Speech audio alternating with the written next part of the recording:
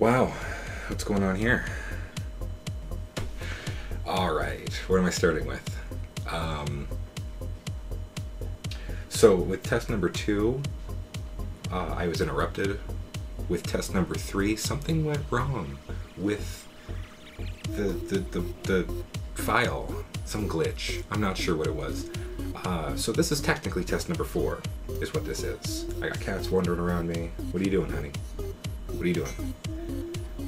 The microphone is currently set to, oh my god, this is just failing left and right. I have no idea what I'm doing.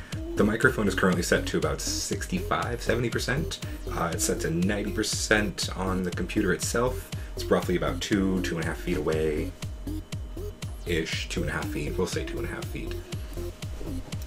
So while the original test was about um, making sure that I could edit properly, making sure that everything worked right, this test is about adding things in. There should have been a text screen at the beginning. There should have been a scrolling text down at the bottom somewhere, maybe over here, I don't know.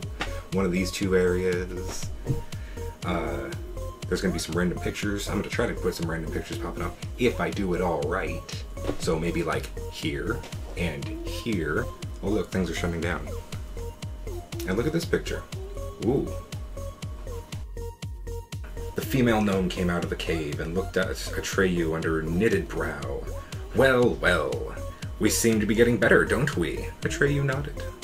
The gnome climbed up on the rocky ledge, with level with Atreyu's face, and sat down. No pain? she asked. None worth mentioning, Atreyu said. Nonsense! The old woman snapped.